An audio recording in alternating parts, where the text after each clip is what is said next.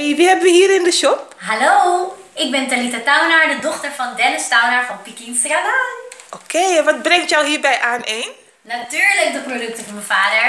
En eh, ja, ik, eh, ik heb echt een, eh, een hele diepe liefdesverhouding met moringa.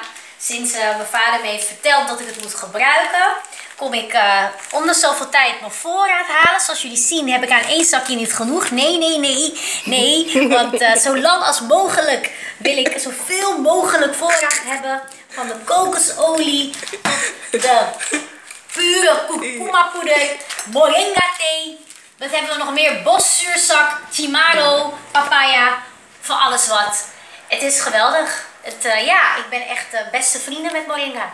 En hoe gebruik je de moringa poeder? Ik gebruik de poeder ehm, in mijn thee. Ik gebruik de poeder over mijn eten. Ik gebruik de poeder in mijn smoothies. Ehm, soms gebruik ik de poeder dus in mijn thee bedoel ik alleen de poeder met heet water.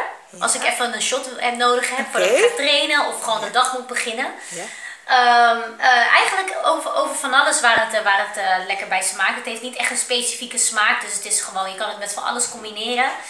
Ehm, en verder, ja, eh, de thee regelmatig. En eh, de kokosolie gebruik ik eigenlijk met alles waarmee ik kook. Dus eh, ja, het is echt een hele belangrijke deel, heel belangrijk deel van mijn eetpatroon. En dat houdt je fit.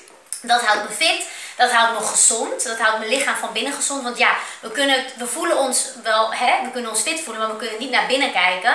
En daarvoor heb ik mijn moringa, want die maakt mij van binnen tot zover het lukt, eh, ja, schoon. Dus eh, ja, ik, ook moet ik zeggen dat de stoelgang ook heel goed wordt bevorderd door moringa. Dus als je m- hè, niet zo makkelijk naar het toilet gaat, het moment dat je dit gebruikt, je kan gelijk naar je toilet. Meteen. Ja, zeker. Goeie- Een goede gezondheid. En dankjewel dat je het even kwam eh, toelichten. Jullie ook bedankt. Alsjeblieft.